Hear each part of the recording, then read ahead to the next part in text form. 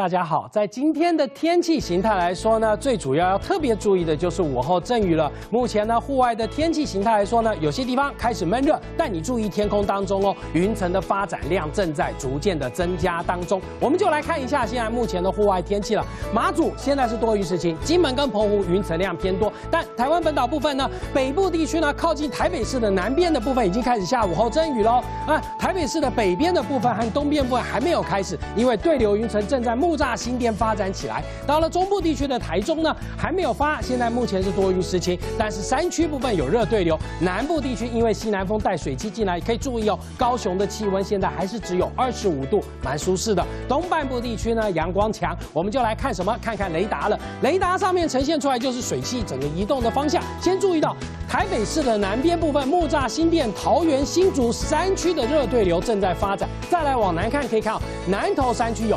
阿里山这边正要发，接着往南叫南高平三个地方，是因为外海的水汽进入而造成的降雨的状况，所以南部的下雨状况跟中部以北是不相同。东半部地区主要是在花莲还有台东山区已经开始有热对流的发展。接着就来看到卫星云图了，卫星云图上面我们可以注意到，北方的四号台呢进入日本已经减弱成为低压，整个低压水汽正在逐渐的通过日本。我们台湾上空呢，今天的西南风还有水汽，明天的西南风。水汽量减少，但太平洋高压还没升过来。目前高压的边缘刚好就在琉球群岛附近，所以呢，明天开始午后阵雨的量会比今天再减少，高压慢慢牺牲。到了礼拜四、礼拜五以后，整个高压势力一升过来，我们就是一个高温炎热，只剩下山区有十八号了。接着这个周休假期到下个礼拜三、礼拜四之前，都是属于一个晴朗而且是炎热的天气状况。所以呢，就来看一下今天的晚上到明天的温度了。先来注意到晚上的温度还算。舒适，白天的温度都是闷热。